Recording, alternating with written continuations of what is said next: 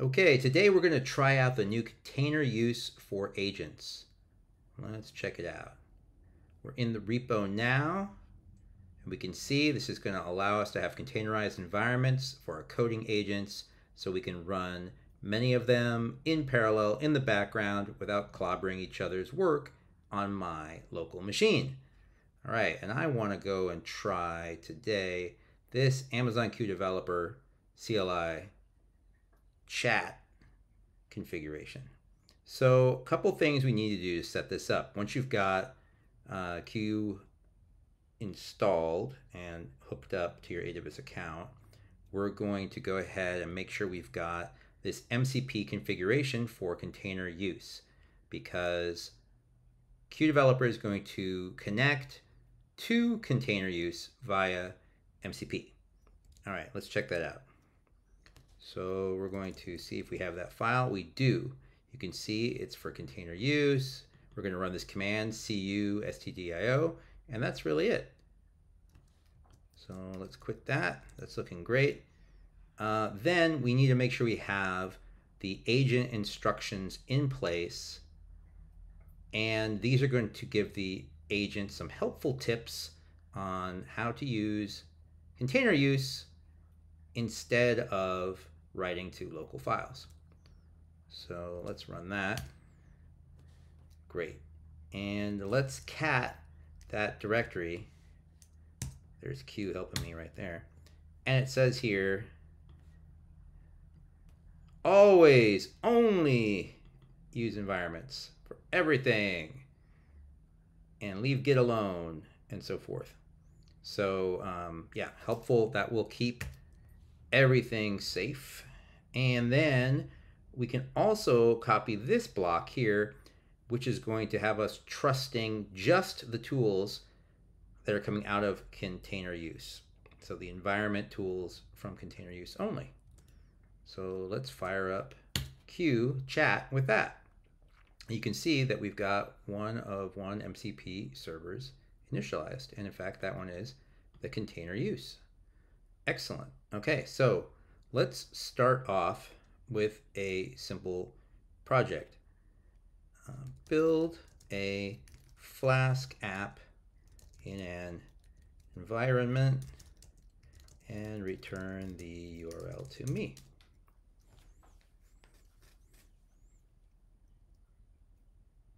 Great. All right, we can see that we're using the tools from container use without it prompting us about whether we'd like to use it this time or whether we trust it for the rest of the session. You can also see we have this environment ID that keeps popping up, the gorgeous cowbird. Uh, so this whole name here, Flask Hello World Gorgeous Cowbird, that's going to be our way of keeping track of this particular environment. So we can run cu, and the cu command will allow us to list environments. We can see we've got that one environment right there. It'll also let us watch and see what checkpoints have been made. Now you'll notice that this is in a space kind of off to the side, not affecting actually my project. It's not, it's not even uh, you know, affecting my Git history. I've just got my one initial commit that gave me a README. So very, very cool. So over on this side, it says that we are up and running. So we're going to actually take a look at this inside of Safari. And sure enough, looks like we have a very basic app. Um, now, if I want to take those changes, I can use CU again, if I like, and I can actually merge that environment's changes right in. So again, we'll say CU list, and I'll say CU merge, and we're going to merge this environment in right now. Awesome.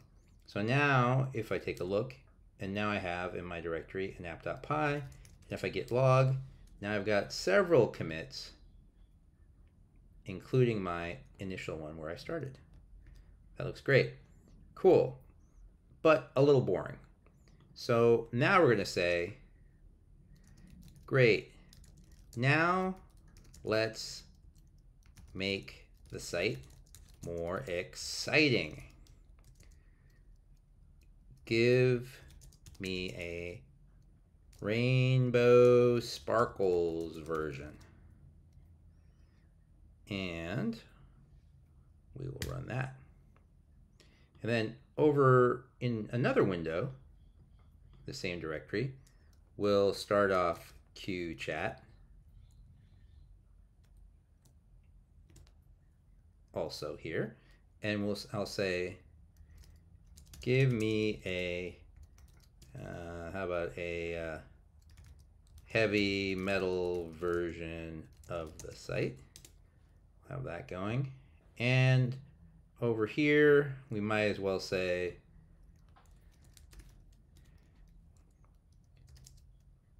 give me a Sherlock Holmes themed version of the site. See what we get with that. Okay, and so we've got all these three running in parallel. And then let's actually open up another window here and let's go into that directory. Still, we just see our original contents, but let's watch. And we can see that there's some things happening in here.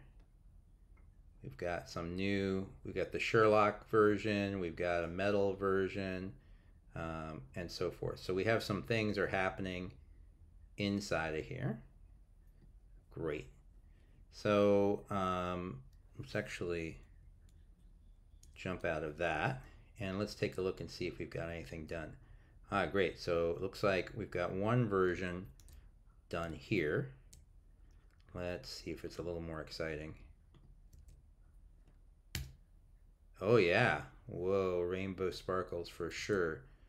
Awesome. Okay, that looks good. How about uh, how about another version? Let's see. This one's still working.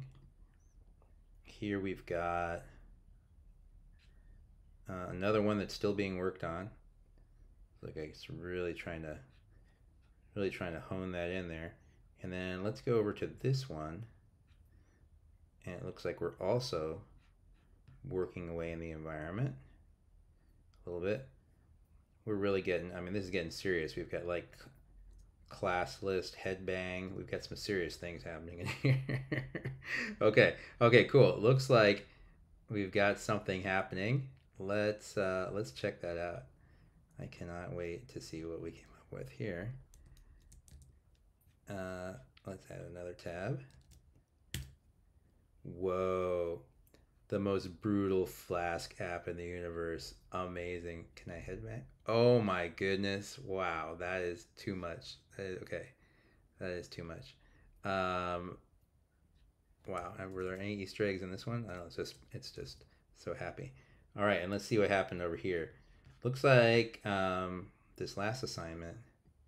Oh, the Sherlock one. Yeah, that one's a little open-ended. Oh, but it looks like it's also coming to an end. Yes. Excellent. Oh yeah, I've got some Victorian era styling. Amazing. Wow, this is quite involved. Okay, let's take a look at what we got. And we're gonna go back over here. Uh, let's just slip this one right in between these two.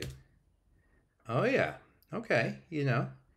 The game is afoot, indeed. Not bad. Okay, very, yes. And we actually have some, oh yeah. It's quite it is quite uh, complete, this particular one. Very good. Yeah. So we got our rainbow sparkles, we got our Sherlock Holmes, and we have our headbanging metal flask application. That one might be my favorite. Okay. Very, very cool. Um, nice. And so now where are we at? Well, um, with any of these now, I'm just going to jump out of this and I'm going to see uh, let's use CU to uh, list our environments. Again, here's our different environments that we have here. And um, then let's go ahead and uh, take a look at the uh, at all the different work trees that we have going on here that came off of that same initial one. Also very, very cool. And then let's actually take one of these. I think I'm kind of partial to the, the head banging metal one. So um, I'm going to use the CU uh, merge command. So I'm going to say CU list. I'm going to say CU merge and the metal flask gap. Boom. Okay, now I have these changes locally and I am good to go. Now, the other thing I could do is if I was curious just to see, you know, hey, what actually happened in this other environment? Let me do a CU terminal into there. So now we're actually building the environment that was used there and I can see let's actually get ourselves a better terminal here. Let's cat this one here and we can see that we're rendering this index.html great. So um, let's take a look at that maybe let's see what we have here we have this render template index HTML. So it's probably my templates index, index HTML. Great. Okay, there we go. And here is how we got the, it's how we were able to accomplish the rainbows and the sparkles. We get a function to create sparkles. We've even got, you know, all kinds of sparkle counts and sparkle positions, you know, all the important things when you're going for rainbow sparkles, which we were able to uh, enjoy uh, right over here. So very, very cool. So this gives you the ability to have these different environments all running in parallel in the background without clobbering your code base so that you can do many experiments